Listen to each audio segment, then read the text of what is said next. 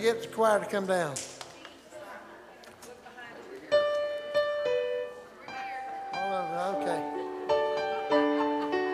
Let's stand and sing, brethren, we met to worship.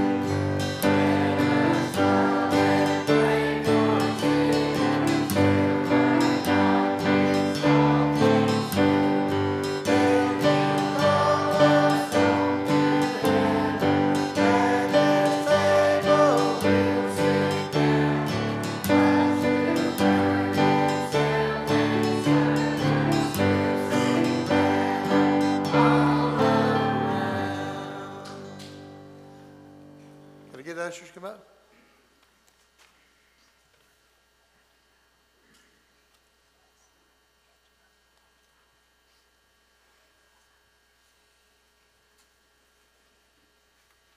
Steve Sweat, will you lead us in prayer, please?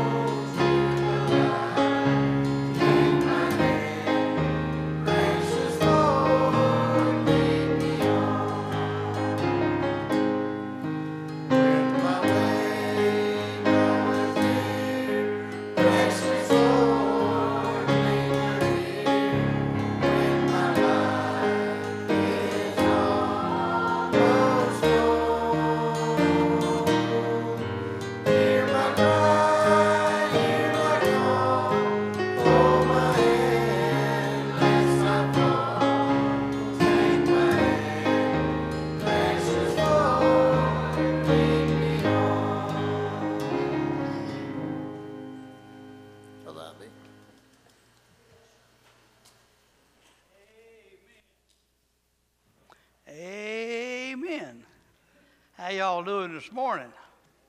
All right, wonderful being here today. Thank you to all. We still know we have a lot of people still sick.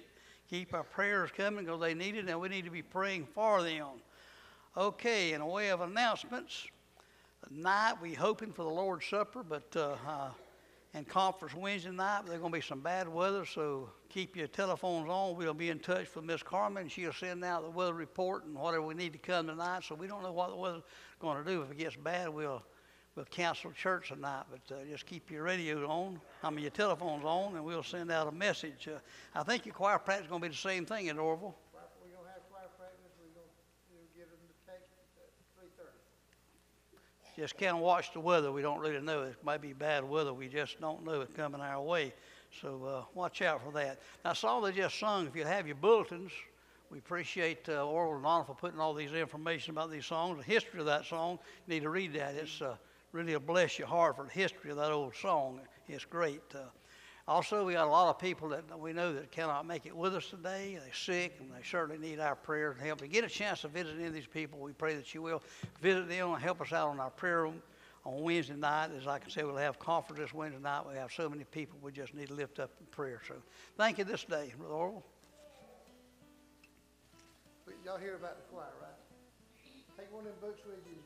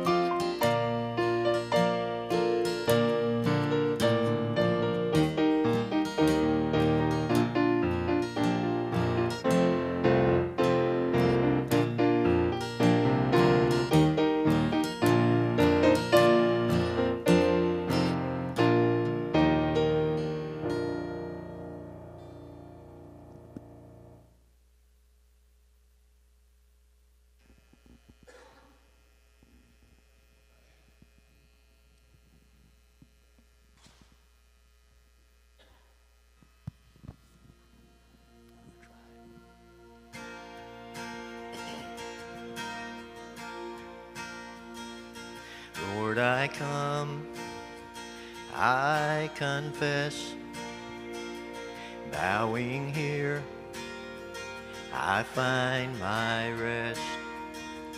Without you, I fall apart. You're the one that guides my heart. Lord, I need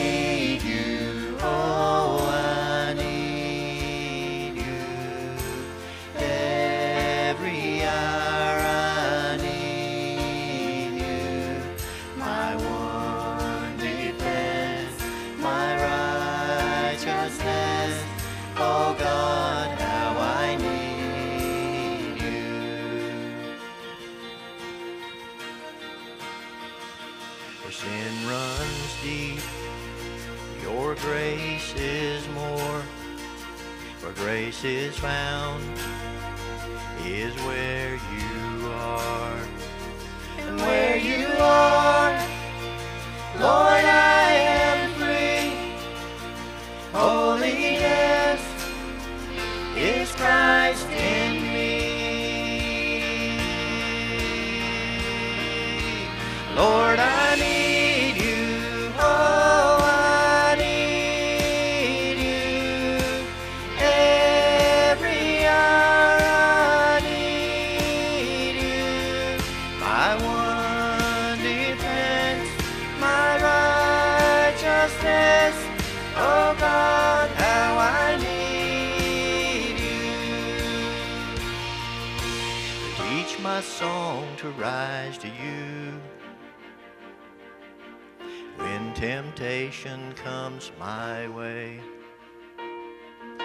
I cannot stand, I'll fall on you.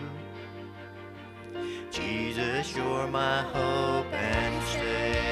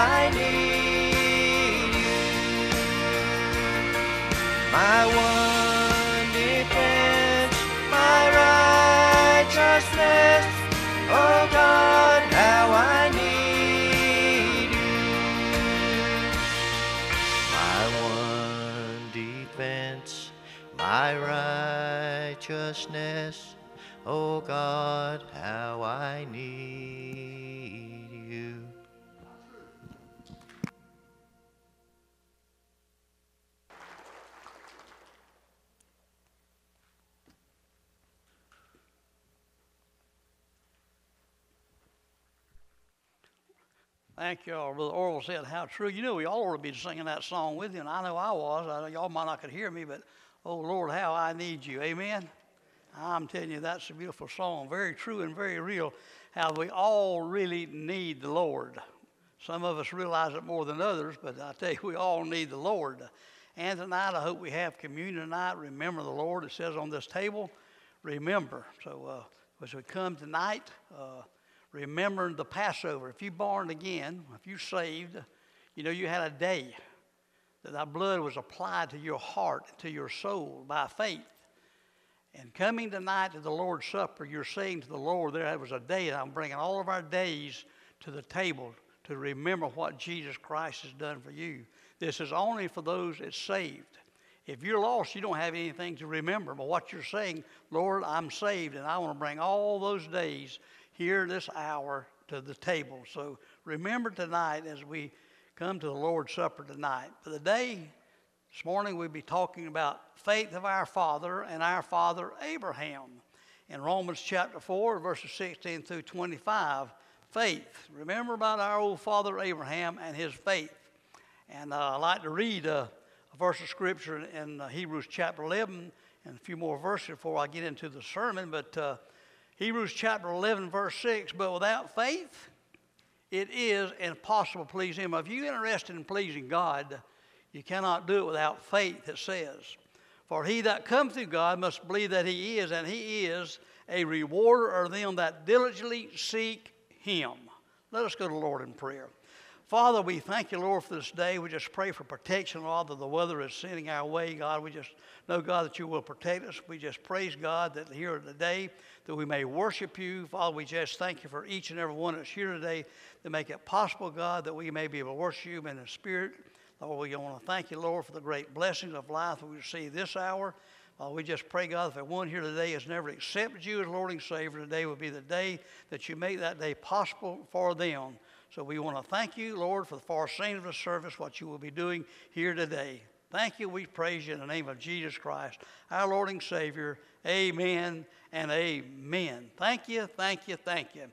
Abraham made a discovery there in chapter 4. Abraham made a discovery in chapter 4. Salvation is not according to our righteousness. He had discovered that. And Isaiah 64 and 6 says, But we are all as unclean things, and all of our righteousness as our filthy rags, and we do all fade as it leaves, and our iniquity is like the wind that taketh us away.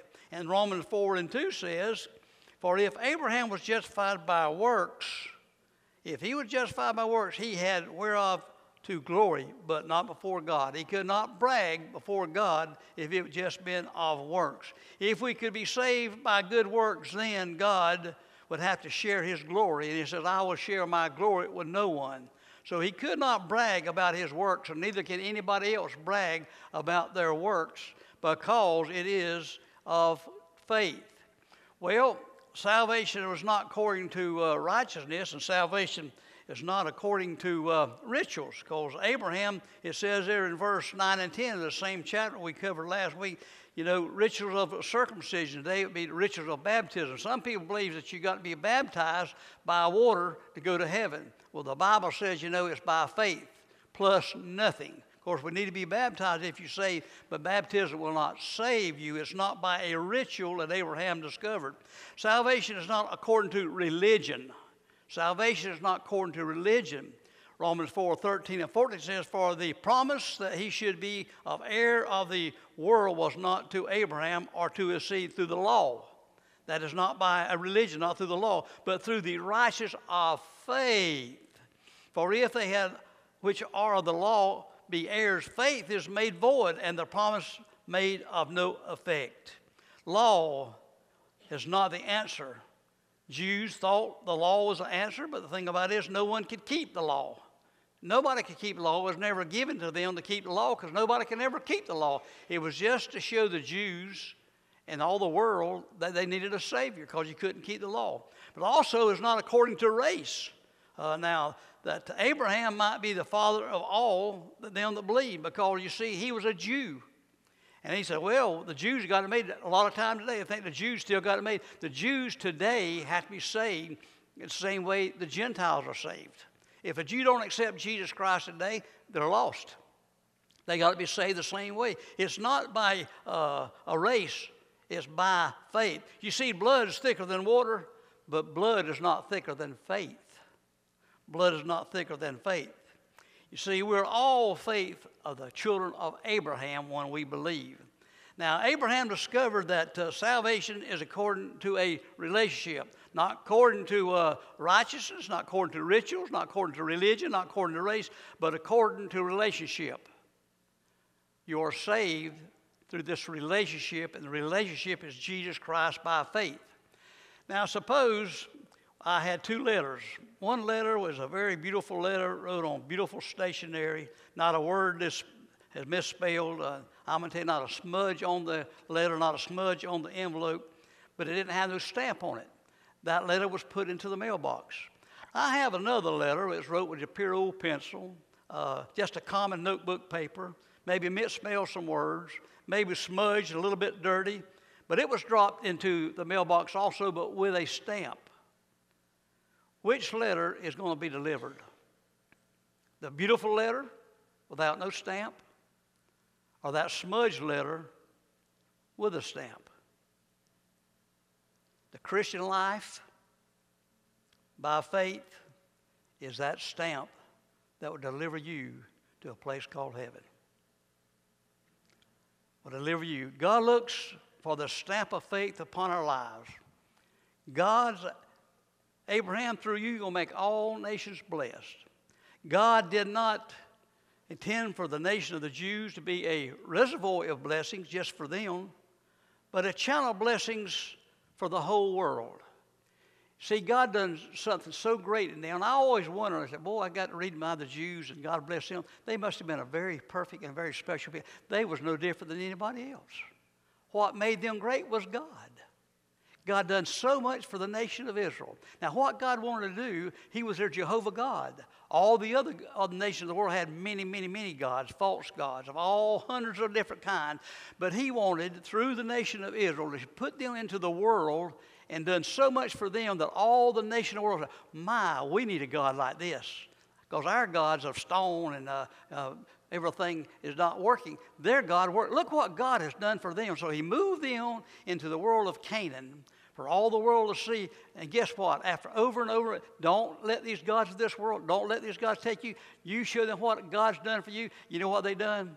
They went and lusted after the gods of the world, gave up on their Jehovah God many, many times. You know what happened? God had to carry them away into captivities. Now, you know, the same way for the church. We're not no special people because you're saved. You're no special than anybody else. Y'all understand that? God said we all sin and come short of the glory of God. What makes us special? Because what God has done in our life through faith in the blood of His Son, Jesus Christ. And I want you now, church. You see, God don't, is not working through the nation of Israel anymore. Their time clock is stopped. It will start again after the rapture, but their time is stopped in the world.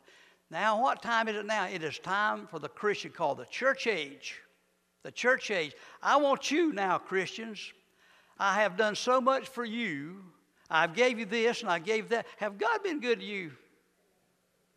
I want the world to see what I will do in a person's life as I've done in you as a Christian life is the church.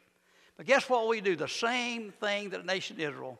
We go back and we start lusting after the things of this world, materialism, and they just go on and on and on and on. And God says, I want to use you not for a reservoir of blessing, but I want to use you now for just extend out for this blessing, be a channel of blessing to the whole world.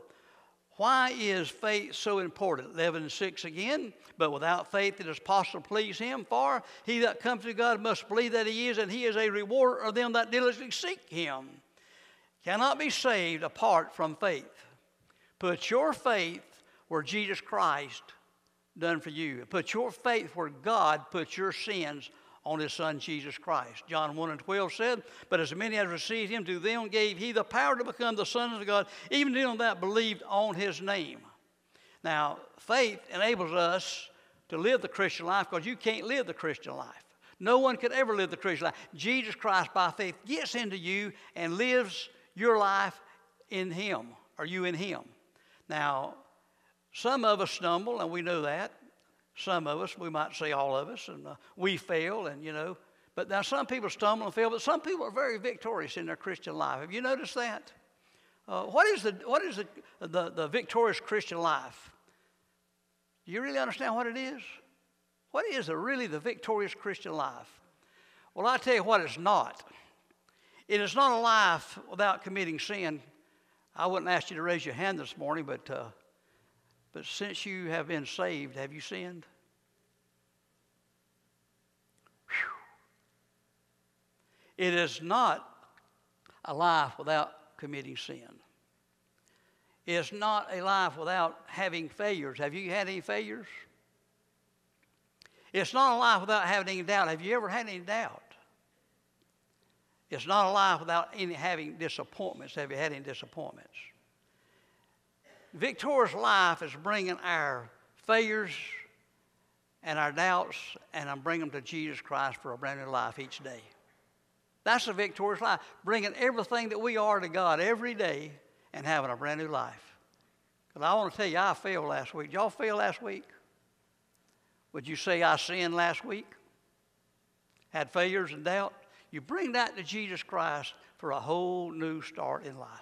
Every day is starting over. Now, some people, heaven is really bright and they have a lot of hope, really. I'm going to heaven. Some people, it's not very real to them. And other people, they don't even think about it at all. What is faith? Taking God at His word. If we believe as Abraham believed, then we will achieve what Abraham achieved. Now, these two letters again. The smudge letter is Abraham's life mistakes. I mean, Abraham made some big mistakes. Y'all know he lied, and I'm going to tell you, disobeyed God. He made some pretty big mistakes, so Abraham did. But you know, in the New Testament, reading the life of Abraham, you not, do not read one verse or one word about Abraham's mistakes in the New Testament. Why? All of his failures and all of his mistakes, because God do not remember your mistakes and your failures. He remembered Abraham's faith. Aren't you glad now that he don't remember your failures and your mistakes, but remembers your faith? Because are we full of these mistakes and errors, are we not? The stamp of faith, what God is looking for in our life. Does he see that upon your life? That's what he's looking for. Yes, we're going to fail. Yes, we make mistakes. But how about your faith? That's what he's looking for. Abraham is an example of our faith, but you know, real faith receives the gift of God. It pleased him. Real faith really receives the gift of God in Romans 4 and 16 now. It says, Therefore, it is of faith that it might be by grace to the end the promise might be sure to all the seed, not to that only which is of the law, that is the Jews, but to that also which is of the faith of Abraham, who is a father of us all through faith. Grace, what is grace? Grace is God taking the first initiative. We have no merits whatsoever. No merit whatsoever. Salvation is, the, is a grace gift of God. Grace is not reward for faith, faith releases grace. We cannot generate faith. You cannot get more faith by yourself. Nothing in you that really calls you to generate faith. Nothing. Ephesians 2 and 1. And you have he quickened who were dead in trespassing and sin. It's not you just sick. Without Jesus Christ, you're dead. How can a dead person generate anything? They're dead. You was dead without Jesus Christ. Dead to everything. Faith is the gift of God's grace. God must give you faith for you to have this faith to receive grace. Romans 12 and 3. For I say, through the grace given unto me, to every man that is among you, not to think of himself more highly than he ought to think, but to think soberly, according as God has dealt to every man, every person, the measure of faith. It says, so think soberly. Today we would think of that word sober as being free from alcohol or drugs, but in the Bible it means be serious minded about the things of God. Think very serious minded about the things of God. God have dealt to every person a measure of faith. Only, only, only way and the reason we could ever have faith that God has give us faith. He took the initiative to put faith in my heart and the faith in your heart and the faith in anybody's heart that they might be able to receive. Now, real faith receives the gift of God. Does that mean that God is going to believe for us? That means God's going to believe for it. He put faith in your heart. Without God, you could have no faith. No, you must do your own believing. Apart from God, you could not believe. Apart from God giving the first initiative, you could not believe in God. Ask your question Is breathing a gift from God? Is breathing a gift from God? Does God give you lungs? Does God give you air? That is both a gift of God, but you could smother if you choose to. You could smother if you choose to, but God has given you lungs and God has given you air as faith. But you could smother if you choose to. No one can say, I cannot believe it's not my fault. There's no person in hell could say, God, I could not believe. There's no person living here today or in this place today could say, God, I wanted to be saved, but I couldn't believe. You cannot say that. God give every person this faith to believe. They can use it because God give them the truth. You can smother the truth if you want to, but God has give you the truth. God has give you lungs. God has give you breath. You can receive what God has give you in His Word if you want to, or you can just smother yourself to death. 13, 14, we done read the promise in verse 16 might be by the grace to the end that the promise might be sure. Faith is your response to the promise of God's Word. That's what your faith is, responding to what God has already said. This is biblical faith. This is not some powerful thinking that people think uh, today. It is responding to what God has already said. You cannot have faith apart from the Word of God. You better understand how come the Bible is so important to you and important to us today. Romans 10 and 17. So then faith comes by hearing, and hearing by the Word of God. That's where you get it from. You cannot have faith apart from the Word of God. You must hear the Word of God. You never have faith without getting a Word of God. And if you have faith, you act on the Word of God. What God has already said, you act on it. There's hundreds of promises in the Bible, but you receive them all by faith. Now, Billy, we know that Billy Graham was a great, great evangelist of our day. But there was a man before him named D.L. Moody uh, the great, great evangelist of yesterday. And he said, I closed my Bible and I just started praying for faith. And I prayed and I prayed and I prayed. God, give me more faith. God, give me greater faith. God, give me faith. And he said, faith will never come and faith will never grow. He said, I read Romans 10 and 17. So then faith comes by hearing and hearing by the Word of God. And I stopped praying for faith and I started reading my Bible.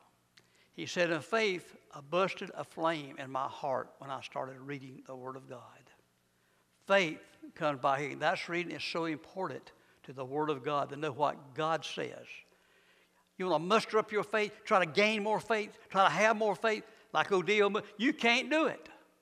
There's nothing you do but gain faith in your own self. It must be the Word of God. It must be the Word of God. Real faith releases the grace of God. It receives the gift of God, but it releases the grace of God to us.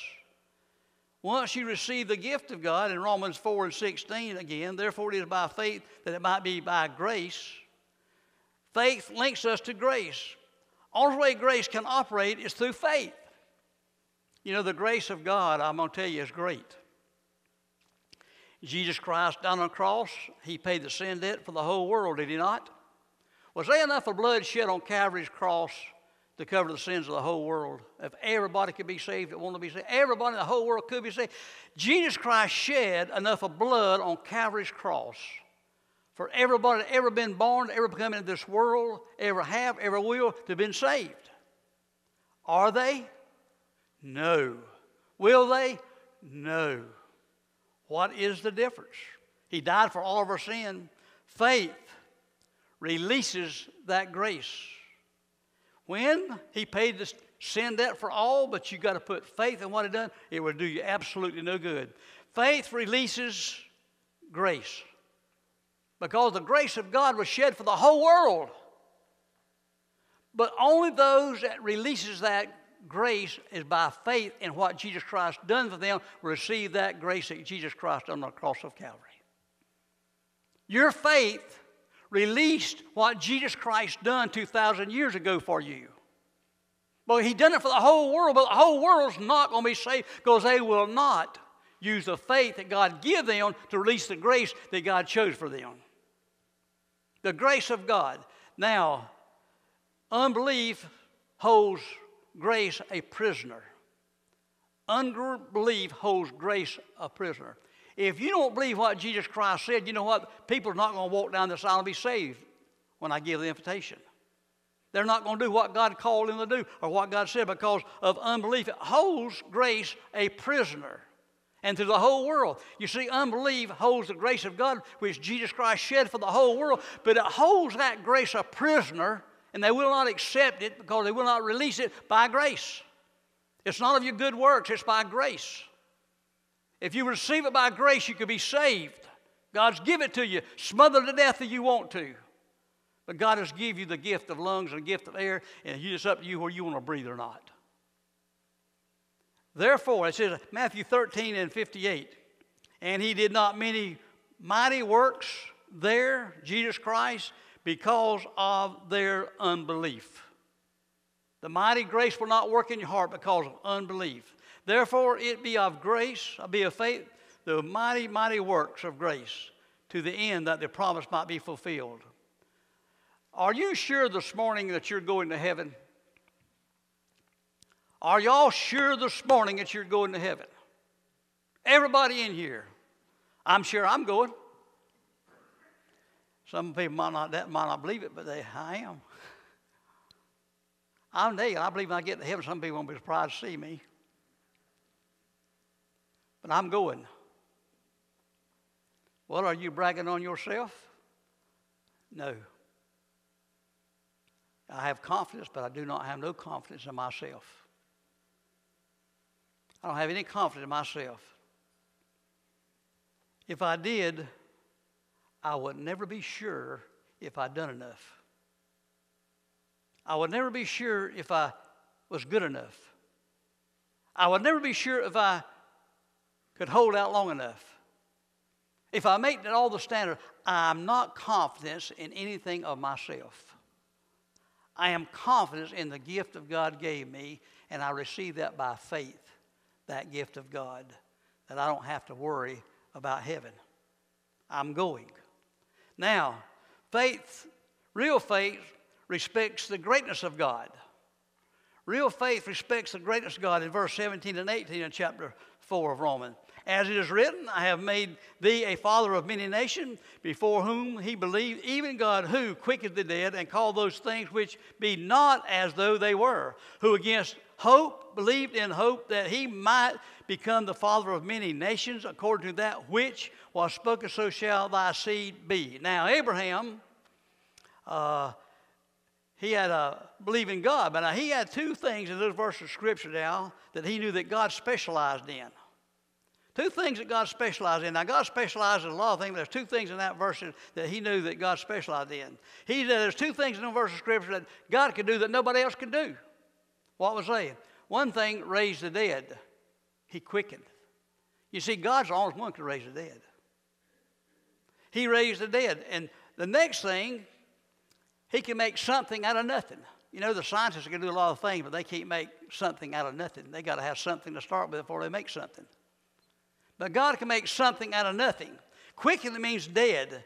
He calls life out of dead, death. He knew that. Abraham believed that, that God had these two impossible things that man cannot do that he could. Cause something that was not so. Now, Abraham, and this, he's talking about, fix reading in that Abraham was 100 years old and Sarah 90. There, verse 19. And being not weak in faith, he considered not his own body now dead, 100 years old, when he was about a 100 years old, neither yet the deadest of Sarah's womb, which was 90. Now, Abraham believed God could bring life out of death.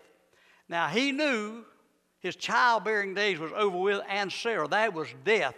We know that when you get older, don't you? It's death.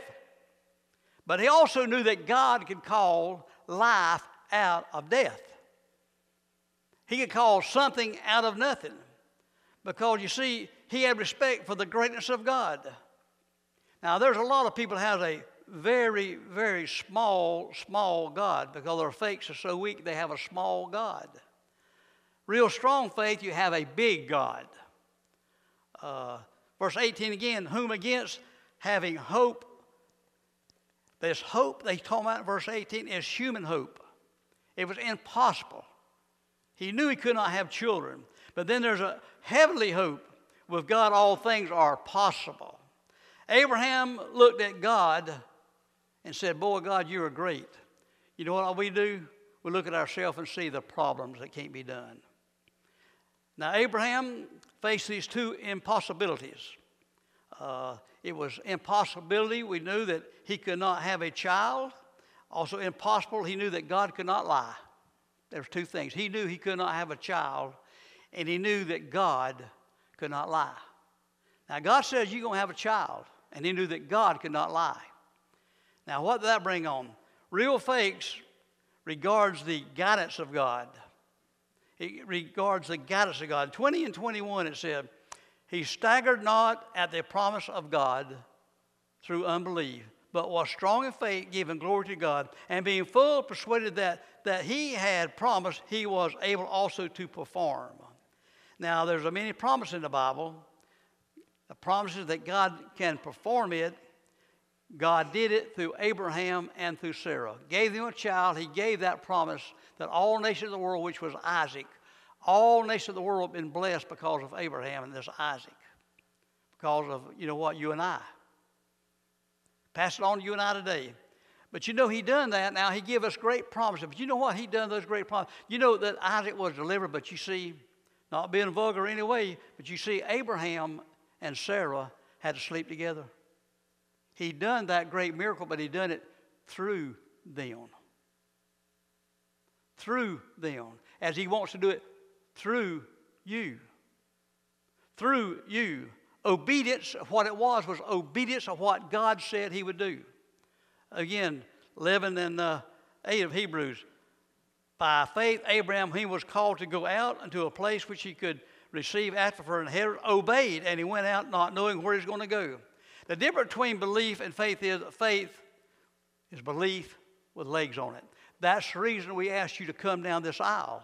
You believe you might sit back all you want to in these pews and say, Well, I'm saved. God saved me. I'm not going down forward. I'm not going to join the church. I'm not going to be baptized. I'm already saved. But you see, you need legs on your faith.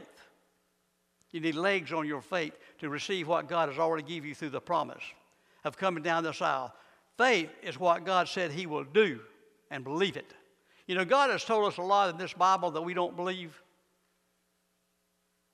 He's told us a lot in this Bible that you don't believe and I don't believe because we don't do it. Now, it goes all the way back to James.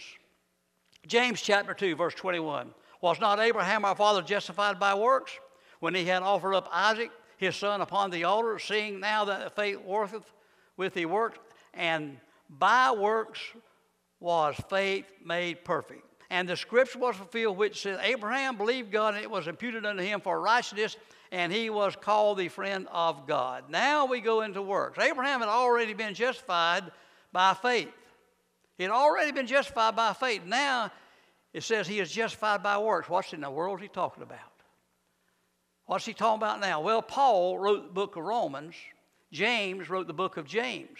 Now, Paul is talking about uh, justification before God. All the book of Romans talking about justification before God. After you're saved, then James is talking about justification before man. God sees our faith. Man needs to see what we do by this faith. It's seeing. You see, James said, You show me your faith without your works, I'll show you my faith by my works. Now, this is of man. You're not doing this of man, but you see, what we do, God, people sees what we do and how we work towards the things of God. Because after we're saved, we begin to do good works. You can't do no good work before you're saved. You cannot, there's not a good person, he says, no, not one there. You cannot do any good works before God before you're saved. Because what he's talking about is trying to make God or accept you of being a good person. God will accept nobody for being a good person. No matter the best you do, no matter what you give, what you do, how you behave. You cannot behave yourself to heaven. You cannot give enough. You cannot do enough to get to heaven. It's not by your works, your good works. God will not accept any of it. None of it. You're just a doomed, lost sinner without Jesus Christ. But then after you're saved, after you're saved, you're saved unto good works. Now, no one is saved by faith and works.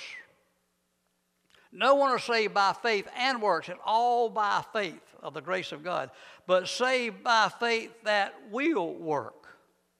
You will work. People will see that. Saved by faith alone, but faith that works will not stay alone. It will begin to produce good works. The Jesus Christ is in you, working out through your life and my life. There'll be some works towards God. Real faith, real faith releases or reflects the glory of God. Real faith reflects the glory of God. Now it says in verse 20 and 21 He staggered not at the promise of God through unbelief, but was strong in faith, giving glory to God, and being full persuaded that what he had promised, he was also able to perform. He had already promised Abraham a son. He believed that promise. Now, this morning I could ask you, do you want to give God glory this morning? Do you want to give God glory this morning? Anybody sitting here like to give God the glory? How do you do this? Do your unbelief glorify God? No.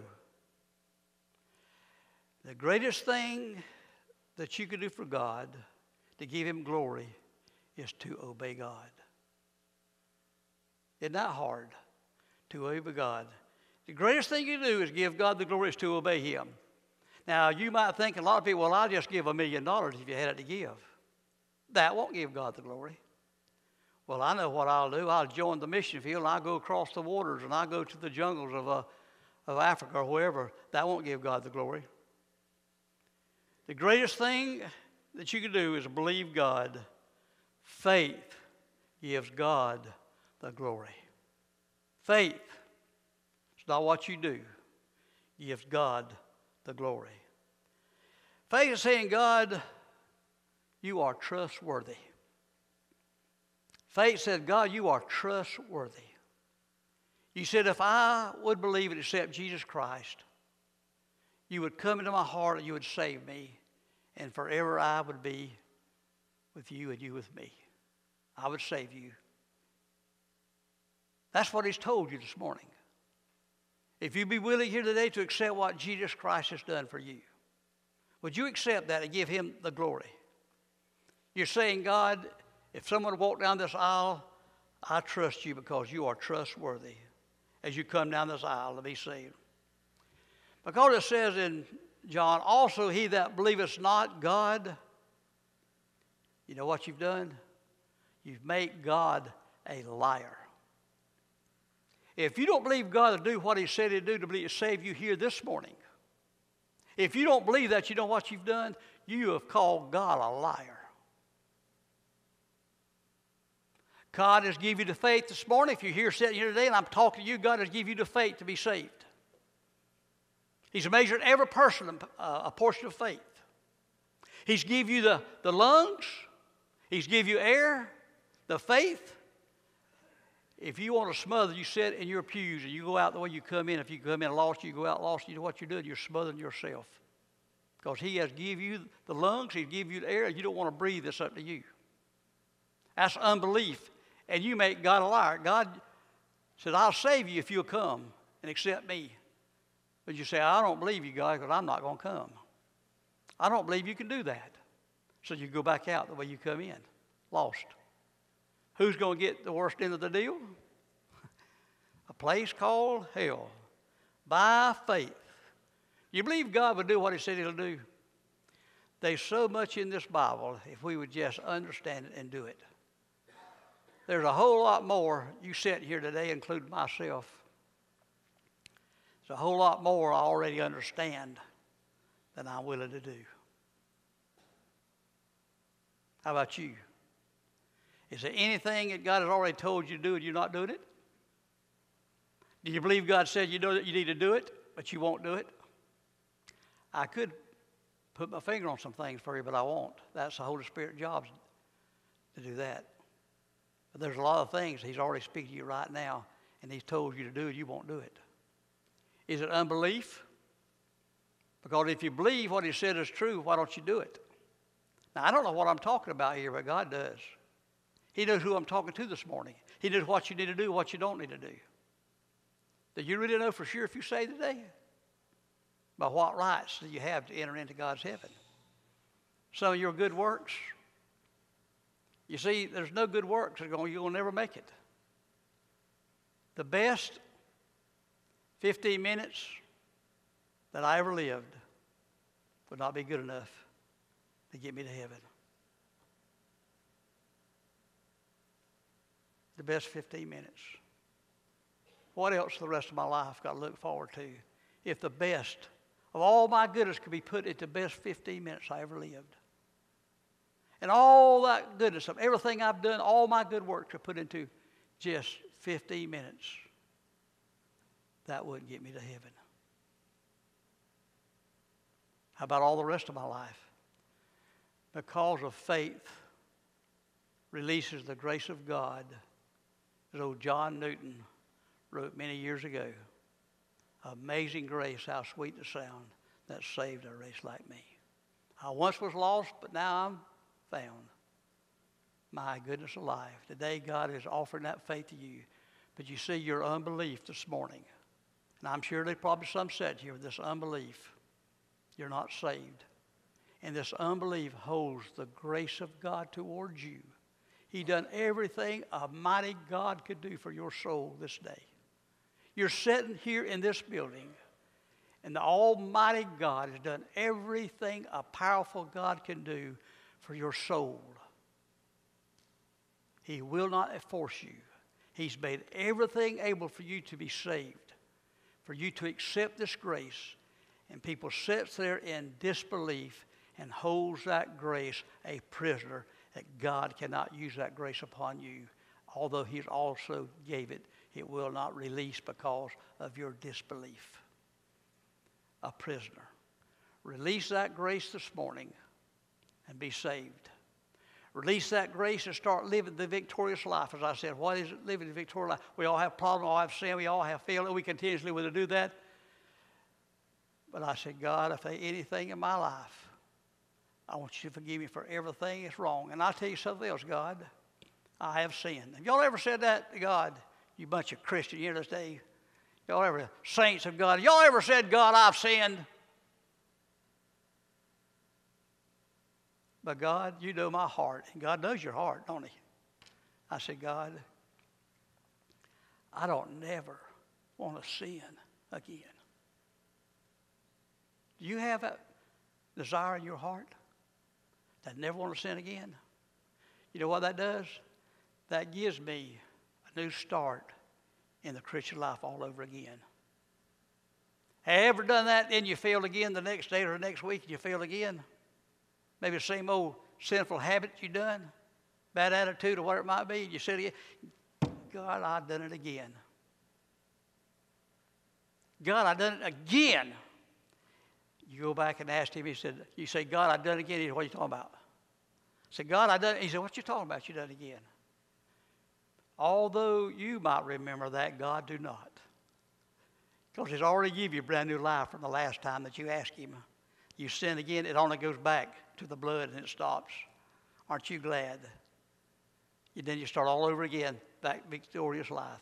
Bring your failures, bring your faults to the Lord Jesus Christ, and He'll give you a brand new start again because faith releases the grace of God that that shed blood of God may be applied to my life although I failed many times like old Abraham did. But God is not looking at our faults and failures. Aren't you glad that He's not looking at our faults and failures, but He's looking for that stamp of faith to deliver you to a place called heaven? Use that stamp today of faith to receive Jesus Christ. Use that stamp of faith to live the victorious Christian life that God has made possible for all of us to live if we just use that stamp of faith. As we come with a song of invitation, God has used that graciousness of God for each and every one of us today. If you just, by that faith, release the grace of God, how great it would be. Old John Newton used it. And he was washed overboard, lived the life that he lived. But then that stamp of faith. I mean, he lived a terrible life. You need to read that book. He lived a terrible life. Old John Newton wrote Amazing Grace. An old wave come and washed him over that ship, an old ship. Then the grace of God washed him back on. And then that stamp of faith that he released the grace of God into his life. Then he penned that song, and he penned many, many songs, not just that one. He wrote many sermons. But that song we remember because it touches all of our lives. Amazing grace, how sweet the sound. Because you know, John Newton, all the bad life that he lived, he was a cruel, wicked person. But you see, all that smudged life, he had a stamp a belief and released the grace to deliver him to a place where he'll never grow old, to a place we'll never die, to a place that will live forever,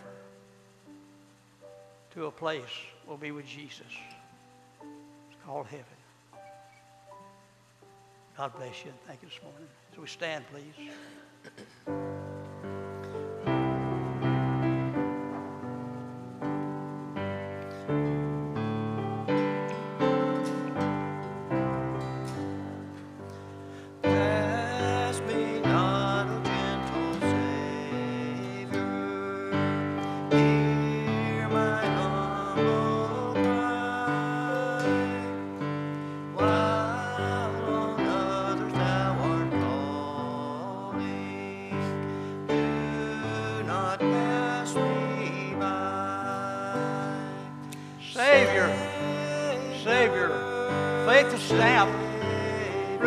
Grace of God for your life He's already bestowed upon you today. Won't you come this hour? Don't go out in disbelief and hold grace a prisoner in your life for your family. Won't you come? They're coming now. Please release that grace and let it work in your life through faith.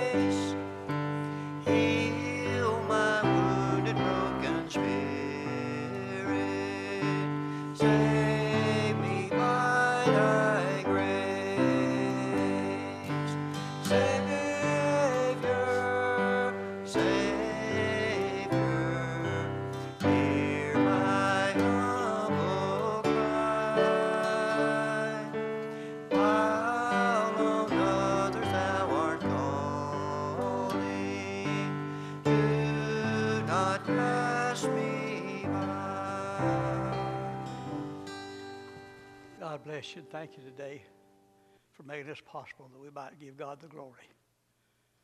Be praying for those who's on our prayer list, our church service tonight, according to the weather. Brother Blaine Hill, would you give us a benediction?